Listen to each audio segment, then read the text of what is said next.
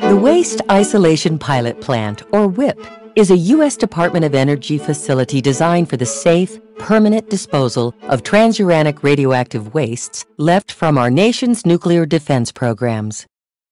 The creation of the atomic bomb in 1945 hastened the end of World War II, but soon a new era in weapons production began the Cold War.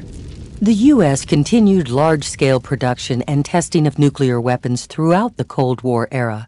Decades of weapons research and production left huge stockpiles of radioactive wastes at facilities across the country. Collectively, these facilities are referred to as the nuclear weapons complex. More than 50 years ago, government scientists began to look for safe methods to isolate radioactive defense wastes to protect human health and the environment.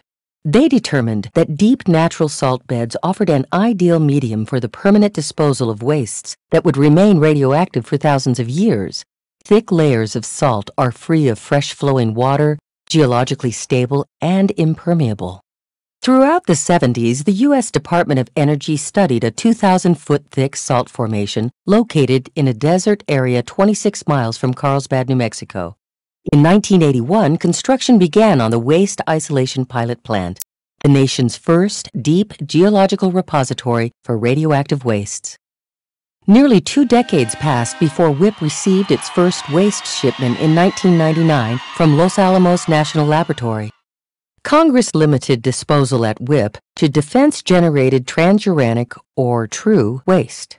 Commercial wastes, low level wastes, and high level wastes are not permitted at WIPP. TRU waste generally consists of clothing, tools, rags, and other items contaminated with plutonium and other man made radioisotopes that have atomic numbers greater than 92 on the periodic table of elements. The term transuranic means beyond uranium. There are two categories of TRU waste contact handled and remote handled waste. Remote handled TRU waste emits more penetrating radiation than contact handled waste, and therefore must be shielded and handled with machinery and robotic equipment. Contact handled waste, once sealed inside the disposal container, can be safely handled by workers under controlled conditions. Approximately 96% of the waste destined for WIPP is contact handled TRU waste. WIPP is regulated by the U.S. Environmental Protection Agency and the New Mexico Environment Department. To ensure that only permitted wastes are disposed at WIPP, technical experts examine TRU waste records at the storage sites. Additional methods that may be used to determine waste eligibility prior to shipment include real-time radiography, visual examination, non-destructive assay, or waste sampling and analysis. Once the waste has been qualified and its documentation approved by regulators, it is ready for shipment to WIPP. The waste is loaded into specially designed transportation containers, approved by the Nuclear Regulatory Commission for WIPP use following a series of rigorous tests. To ensure the public's safety, WIPP employs only highly qualified drivers, and loaded trucks are monitored 24 hours a day by satellite from a secure control center in Carlsbad. Trucks and their payload undergo careful inspection before, during, and after each trip. Protocols for safe shipping were developed through cooperative efforts of the states and tribes through whose jurisdiction the shipments travel en route to WIPP. On arrival at WIPP, the shipping containers are unloaded and taken into the waste handling building. Waste handling and radiological control personnel perform a series of steps to ensure that the shipping containers, which will be returned to service, and the waste disposal containers inside are contamination free.